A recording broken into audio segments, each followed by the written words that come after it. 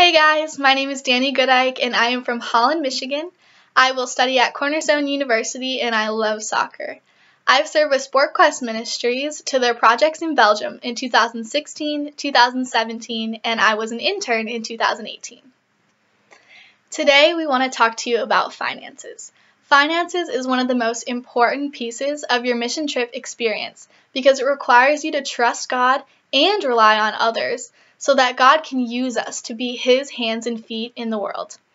Now, some of you may be planning on getting a part time job to earn the money, or your parents may be able to just pay for it. But the vast majority of people who serve on a SportQuest trip raise the cost by asking people to support them. So I want to encourage you with this truth today. When God guides, He always provides.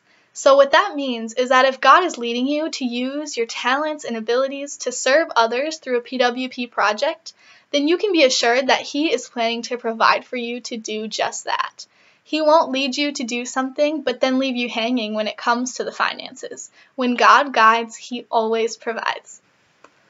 As I was fundraising for my trip in 2017 to go to Belgium, there was about a week before the trip was supposed to leave, and I still had a couple hundred dollars short uh, for my fundraising.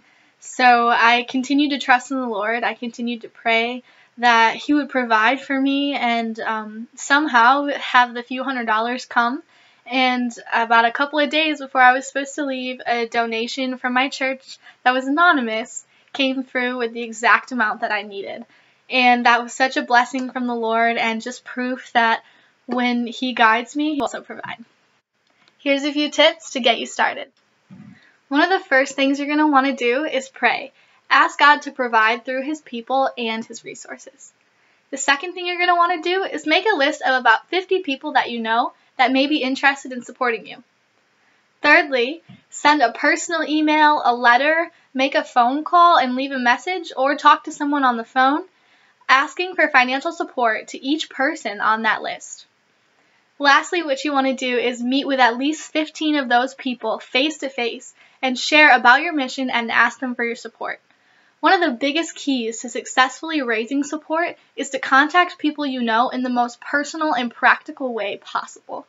Don't just create a GoFundMe page or send a mass email to a huge group of people and expect to raise everything you need. Contact people personally and, when possible, meet face to face. This shows them respect and that you care about the relationship, and it will result in much better response than mass communication. You should have already received your project preparation guide in the mail. Be sure to read this carefully as it provides several tips about fundraising. Also, you should have received a sample fundraising letter and SportQuest response cards to help you get started. If you haven't received any of these, let us know and we'll get them to you. I hope this helps encourage you to reach your fundraising goals. Don't hesitate to reach out to SportQuest if you have any questions or need assistance. We will be happy to help you. You can contact us through our contact page at www.playingwithpurpose.com. Good luck with your fundraising and thanks for watching.